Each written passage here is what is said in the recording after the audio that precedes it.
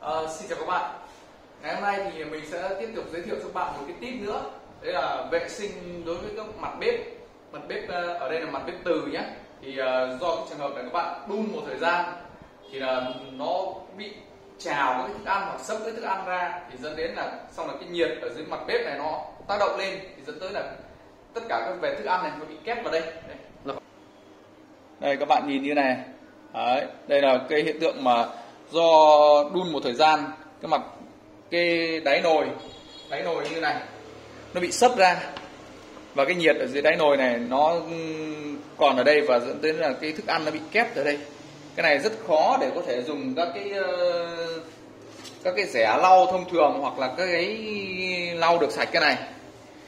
Và uh, cái này tuyệt đối các bạn không nên dùng các vật sắc nhọn để để để để cà trên mặt bếp nhé tại vì à, nó sẽ dẫn tới là bị xước cái mặt kính này. Thì đối với trường hợp như này thì các bạn sẽ dùng cho mình cái cái cái, cái hợp chất này cái lọ này. Đây là lọ ba Kepper Friend cái bột này thì có, các bạn có thể đặt mua ở trên mạng. Nó, giá nó dao động khoảng tầm từ ờ, uh, 200 cho đến 300 nghìn. Đấy, thì tùy từng chỗ. Nếu các bạn mua số lượng nhiều thì có thể mua được rẻ còn số lượng ít thì các bạn mua giá nó hơi cao một chút. Đấy thì các bạn nhé chỉ cần một cái rẻ ẩm như này, ẩm thôi nhé. Xong các bạn sẽ đổ cái bột trực tiếp lên cái bề mặt bếp như này. Đấy. một cái lọ này của nó ừ, có được rất nhiều nhé. Các bạn có thể mua một lọ này, có thể dùng đến 2 năm mới hết. Đây, các bạn nhìn nhé. Đây mình sẽ no cho các bạn.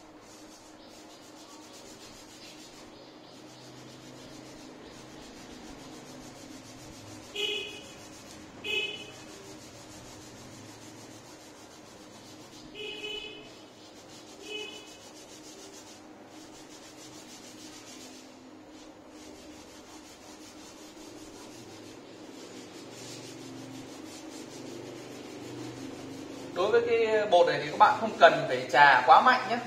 Cái này chỉ cần trà nhẹ thôi và tuyệt đối không dùng cái vật sắc nhọn để trà. Mà các bạn chỉ cần dùng cái ờ, cái rẻ lau bát để trà cũng được. Trà nhẹ nhàng là nó cũng đã ra rồi.